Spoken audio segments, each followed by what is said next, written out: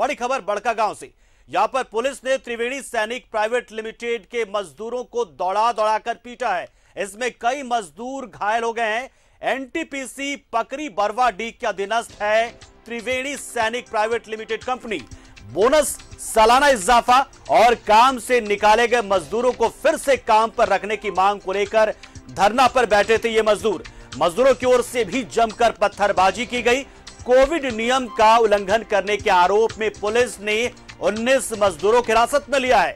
वही मजदूरों का आरोप है कि वार्ता के दौरान पुलिस ने मजदूरों पर लाठीचार्ज कर दिया।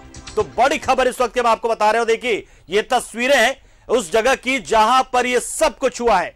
त्रिवेणी जो फॉर्म है, वो उसके मजदूर हैं ये और ये लगातार मांग कर रहे थे कि उनके जो दूसरे सहयोगी हैं, जिन्हें काम से निकाला गया है, उन्हें वापस काम पर रखा जाए। साथ ही जो सालाना इजाफा होता है वेतन में, उसकी बढ़ोतरी की मांग कर रहे थे, बोनस की मांग कर रहे थे, यानी अपने हक की लड़ाई लड़ रहे थे।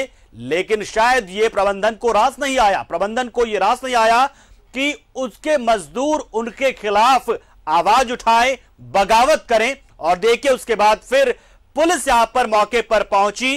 और इसी दौरान मामला कुछ बिगड़ा, शायद साजिशन, या हो सकता है सच में, लेकिन उसके बाद पुलिस ने उग्र मजदूरों पर लाठीचार्ज कर दिया। तो तस्वीरें देखिए, इस वक्त को देखिए कैसे मजदूरों को डिटेन कर रखा गया है और यहाँ पर सुरक्षा घेरा बनाया गया है। देखिए, किस तरह के सोशल डिस्टेंस का पालन हो सके इसको लेकर। और पुलिस ने इसे आरोप में भी गिरफ़्तार किया है कि आप लोगों ने धरना प्रदर्शन तो किया, लेकिन साथ में कोरोना काल में जो जारी गाइडलाइंस है, जो आपदा प्रबंधन विभाग के तहत के जो नियम कायदे हैं, उसका उल्लंघन किया है। तस्वीरें देखिए, किस तरीके से दौड़ा दौड़ाकर पीटा गया। एक्सक्लूसिव तस्वीर हम आपको दिखा रहे पत्रातु से।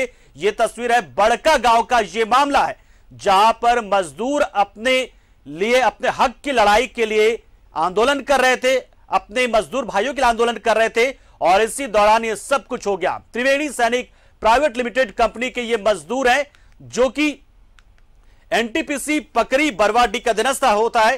त्रिवेणी सैनिक,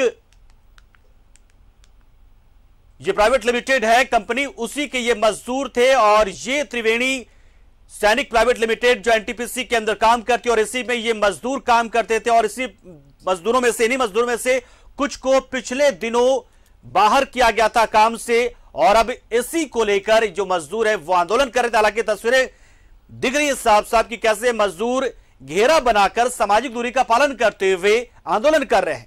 लेकिन पुलिस का यह कहना है कि मजदूरों ने उल्लंघन किया है। कोरोना गाइडलाइंस का उल्लंघन किया है, प्रोटोकॉल का उल्लंघन किया है और इसीलिए लाठीचार्ज करना पड़ा है। उग्र हो गए थे ये मजदूर इस दौरान धरना प्रदर्शन करते करते ये कहना है प्रबंधन का और साथ में पुलिस का भी। तस्वीरें देखिए। कैसे कोरोना काल में लोग दाने दाने को मोहताज हैं, रोज़गार की मांग कर रहे हैं और इसी दौरान जब कुछ मजदूरों को काम से निकाला जाता है तो जो साथी मजदूर है, वो इस बात को लेकर आंदोलन करते हैं कि उनके साथी मजदूरों को वापस काम पर रखा जाए। लेकिन देखिए, नतीजा क्या होता है? बदले में क्या उनके साथ हो रहा है?